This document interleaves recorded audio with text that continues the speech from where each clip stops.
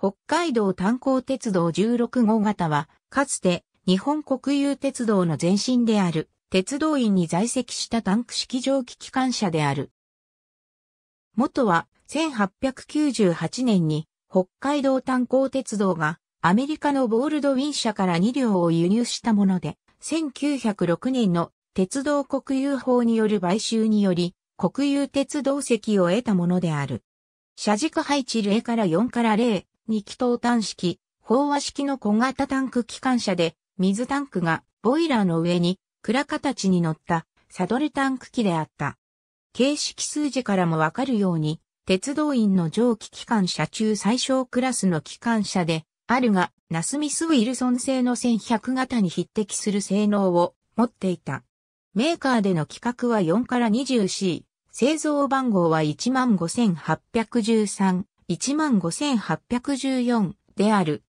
北海道炭鉱鉄道では D 型、後に博多地と称し、番号は15、16とされたが、これは初代15、16が性能の不足から豆草鉄道に売却されたのに伴う2代目である。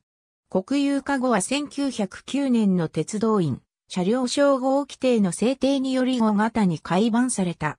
形態的には後部のオーバーハングが非常に長いのが特徴的で、全長約7.8メートルに対し約3メートルもの長さがあった。そのため、二軸の動輪にかかる軸重のアンバランスがあり、第1動輪上8.4トン、第2動輪上14.1トンであった。これはメーカーの設計ミスであったと推定される。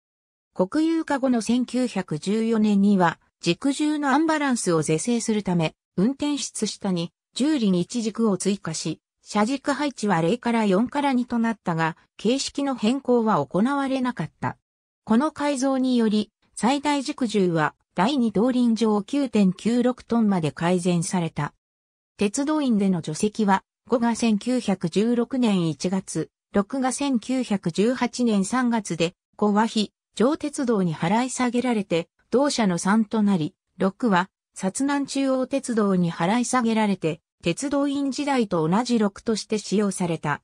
非上鉄道は1934年に国有化されたが、3は大正期に日本車両製造本店の入れ替え用に転じていたようである。一方の6は1939年まで使用された後、日本系金属二乗とされ、神原工場専用鉄道で使用された。改造前の諸言を示す。ありがとうございます。